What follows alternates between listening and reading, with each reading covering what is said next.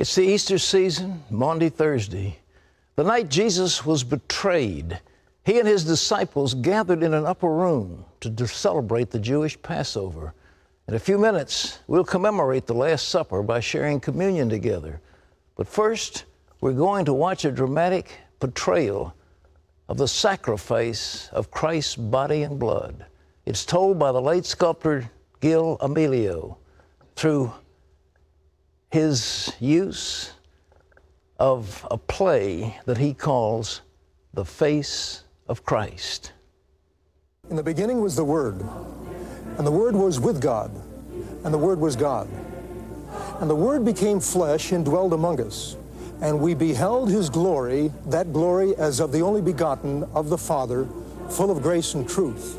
Words like these have been the words that have inspired the artist up through the centuries to portray the face of Christ. Let's go back into some of that history and scripture as the artist speaks about our Lord and Savior, Jesus Christ.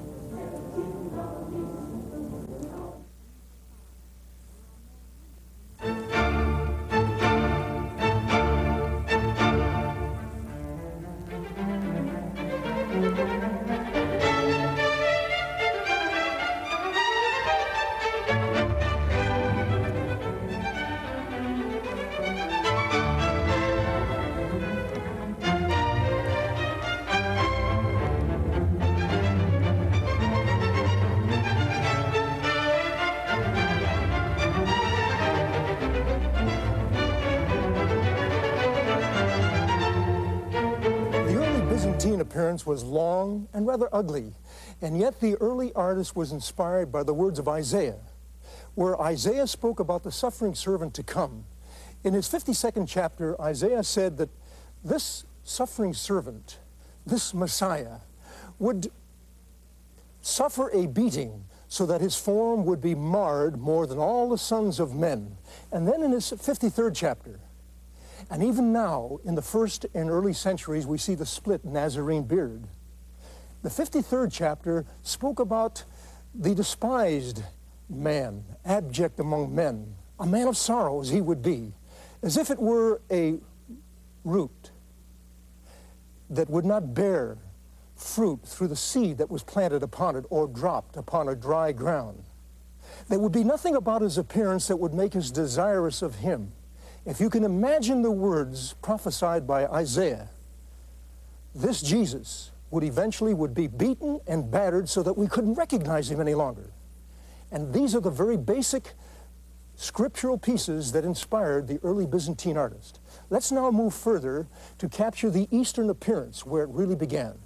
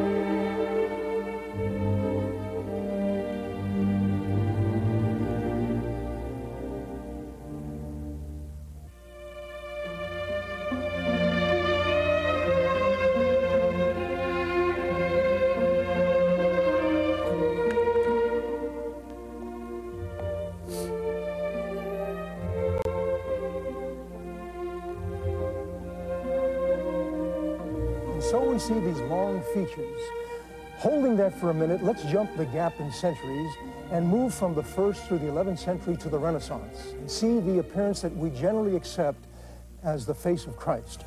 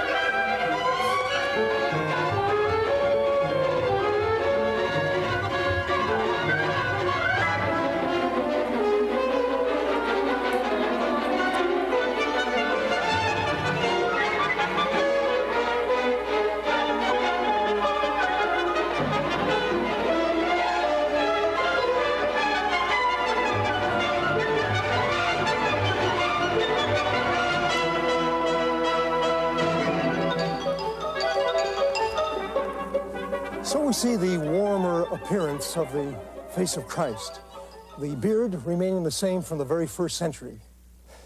What were the words that now moved this artist? We can explain that through three paintings the agony of the garden, the triumphant entry into Jerusalem, and the confrontation before the Roman soldiers. Remember when the soldiers took his clothing off and placed about him the gorgeous robes of a king. They would make sport of him. And they would place this purple robe about Jesus, who claimed to be the king of the Jews.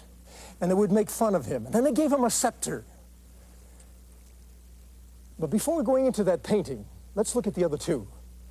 Recently, most of the Christian world celebrated Palm Sunday, where Jesus rode into town on a donkey that hadn't been ridden before, according to prophecy. Jesus as he would ride into those narrow streets of Jerusalem, a place that any tactician would advise he shouldn't have been at that time, people would throw palm leaves at his feet. And as he made his way through the narrow crowds, he would not only hear hosannas, blessed is he who comes in the name of the Lord, and the higher acclamation, hosanna in the highest, blessed is he who comes in the name of the Lord. But those others who did not believe in this Jesus, he would see the Roman soldiers who would give him mock salutes. And Jesus would answer that from the tree. And as he made his way through, he would hear that beautiful prayer in his own language and in Hebrew as we understand it, the Shema. And those people would shout to him, Rabboni, Shema Yisrael, Adonai Lehenu, Adonai, Echod. Hear, O Israel, the Lord our God, the Lord is one. And Jesus would ride into and through that crowd and then cleanse the temple. In the other painting, Jesus in the agony in the garden, we read it about it in Luke 22 44. As Jesus was in that garden, he knew what was about to happen within a matter of hours. This Jesus, born of a woman, as any man or woman is, eight days after his birth, he would shed blood according to the custom of his parents. But Jesus was born to die. And in that scene, we see Jesus lying there and then praying on a rock. Some of the apostles were not awake at that time. And as he sweat, Luke, the physician, tells us, after the fact, after he had gathered the evidence, Luke wasn't there at that time, that his sweat turned into giant droplets of blood. And that's when he began to die medically. Jesus would then look up into a beam of light, and the artist Hofmann portrays the scene. And Jesus would say to the Father, Let this cup pass. Let me out of this moment, but let not my will be done but thine. And the artist can relate to him because Jesus prayed that prayer. And even after that prayer, he could hear the tinker of armor as one of his own would bring the soldiers to arrest him and give him the kiss of death. And then, in that giant painting, the confrontation scene before the Roman soldiers, we can see the centurion, the commander of the guard. We're told about it in Scripture that it was known as a cohort. Jesus at the cohort, a battalion of men, 900, 1,000, 1,200 men. And coming off his horse, the commander would make sport of him. And he would place a blindfold around the eyes of Jesus. After all, they heard about these great tricks and miracles he had performed. And all he had to do at that time was to prove and convince the cohort, the Roman soldiers. And so in front of his own men, he would ask Jesus to play a trick. Christ. You know, you've been around Judea. You've heard about all these prophets who heal people of leprosy, and then a month later or something, the leprosy comes back. Are you one of those prophets, Christ? Tell my men, because we haven't seen these great tricks. How many of you men have seen one of these tricks that Jesus has played? Say, Christ. None of them. Nor I. Come on, Christ, how was it? You're a young man. You're like the rest of us. You know Christ. You don't have to go to Herod and be a politician. Tell us about that blind man along the road. They tell us that when he, he was there, you actually healed him. How did that go, Christ? Hey, Christ, can you see through that blindfold? Come on, Christ, if you're the king, you can see through a mere blindfold. On this side, Christ. Who was it that spit on thee? Was it me? One of my men? Six of them? How many of them are here, Christ? Thy reed, O king. Can you see thy reed? Which way do I hold it, O Christ? Straight up and down? Crossway? Come on, Christ. Speak to us. Play some kind of a trick. Look through the blindfold. On this side, Christ. Who smote thee here? And on that side. And on that side. Can't you see through a mere piece of cloth, and this foolishness would go on. But Jesus didn't say one word, and they would remove the blindfold and let him go. We'll see what your own will do. And they would release him to the mob at the praetorium. At that time, they would fashion a crown of thorns. And then, according to law and custom, Jesus would be scourged. Paul spoke about these stripes 40 stripes minus one, according to the law. In this setting, would the soldiers actually count the 39? Jesus then would be delivered up. He would carry that cross some eight, nine hundred yards to Golgotha, the hill of skull, Calvary. And when they got him there, they would crown him with a crown of thorns. And they would crucify him. Oh, the Persians invented it. But the Roman soldiers were quite expert at this. And so then we see these scenes through paintings. We're referred back to it in Scripture. Jesus fulfilling every iota of prophecy.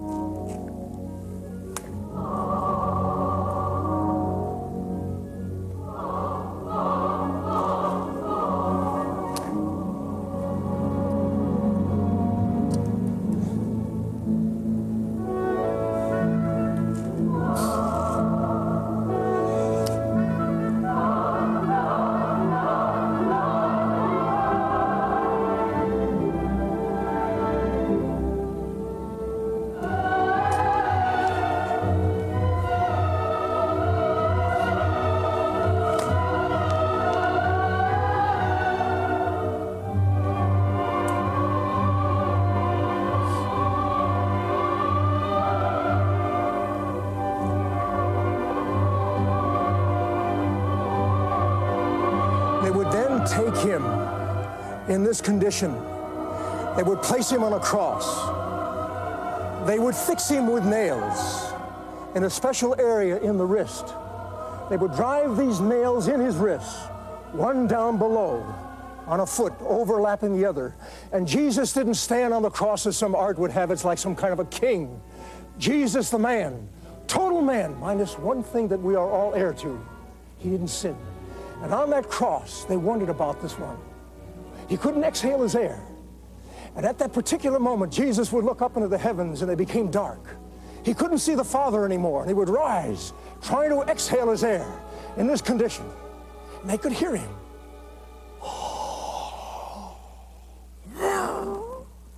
Jesus would rise on that fulcrum down below. Father, Forgive them, for they know not what they do. And in the ninth hour, even then he could have been tempted. Come down, Christ. You don't have to go through with this. He would hear the adversary, Satan, spoken about in Isaiah 14 14. Jesus would rise again, and then he knew the Father wasn't there. And in his humanity, he didn't turn divinity on and off. Jesus would look up and shout something that they didn't quite understand. Eli, Eli, lama sabachthani. My God, my God, why hast thou forsaken me? And at the very end, Jesus would say, But into thy hands I commend my spirit, and he would die. But Jesus, as he promised, came back on the third day. Not to be Jesus the crucified, but Jesus Christ the King, as he said he would, raising Lazarus from the dead, healing a woman, healing a blind man, nothing. Jesus came back. And he said he would come back again, the second time. Are we living as if we who call ourselves Christians, as if we believe this? That Jesus had to die this death and the Father would let him go, as he did Ephraim you're so bent on leaving me, he said in Hosea 10, I must let you go. And Jesus, the Lamb, took upon himself all the sins of men so that we would be free under grace. If the world of art gives us nothing more than to think about these matters, it will have achieved its grandest goal.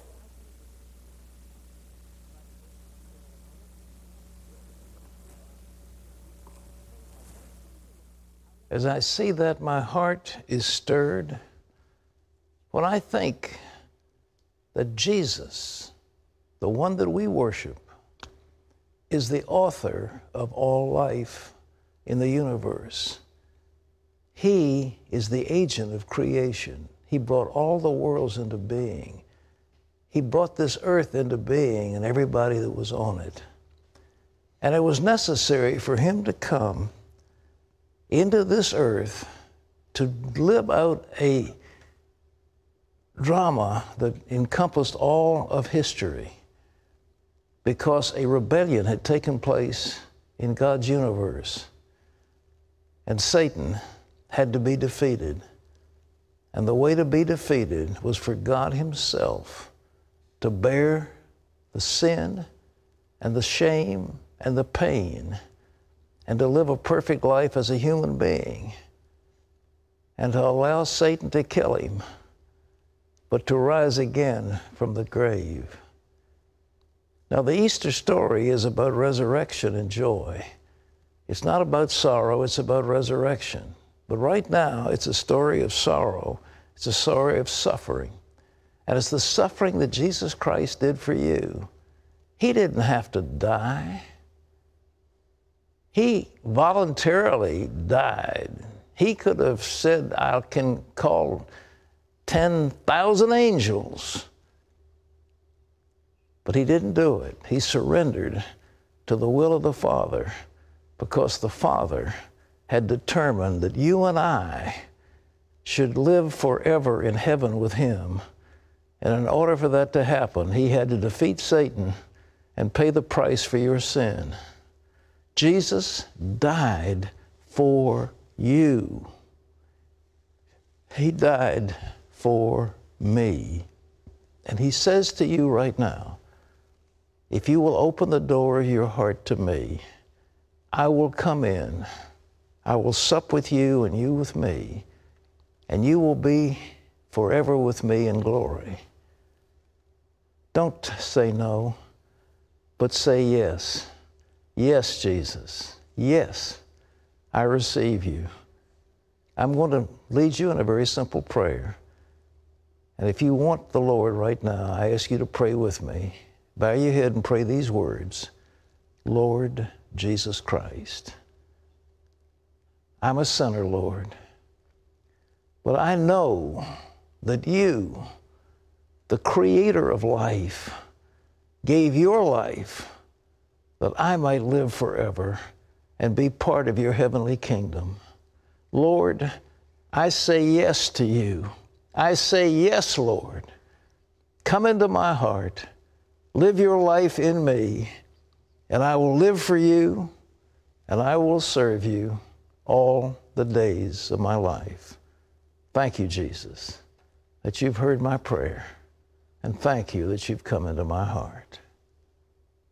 Now, for those who prayed with me on this special Maundy Thursday broadcast, I'm going to offer to you something free. It's called A New Day. I went some, actually several years ago now, into our audio room and I did a 73 minute compact disc that explains what it means to have an exchanged life, that explains what it means to have your sins forgiven, explains what it means to be filled with the Holy Spirit, explains about what happens if you sin and how you get back with the Lord. I'll give all that to you, but I'll ask you to call now and we'll give it to you free. But just call and say, Look, I prayed with Pat. My sins are forgiven and I'm, I'm one with Jesus. The telephone number is on your screen. It's 1 800 759 0700. So I ask you now to go to your phones and call in 1 800 759 0700. If the lines for any reason are busy, please call back. Well, now, as I promised you, we were going to do what Jesus did on the day before he was crucified. He met with his disciples in an upper room and he ate the Seder meal with them. And then, when they had supped, he took bread and he broke it and he says, This bread is my body, which is broken for you. And then, in like manner, he took the cup and he says, This cup is the new covenant in my blood, a new testament in my blood. Drink ye all of it. So, right now, Lord, we bless the bread. We thank you for the body of Jesus that was broken for us. Thank you, Lord. Thank you, Lord. Bless it now.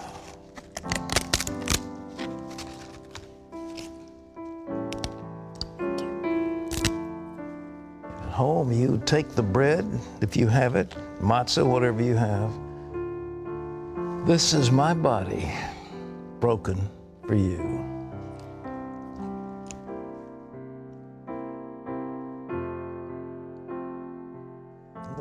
Says in like manner, he took a cup and he says, This cup is the new covenant in my blood.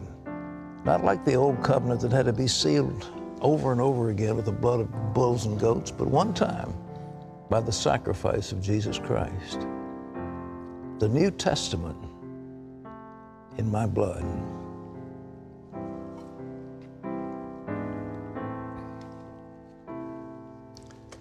Drink ye all of it.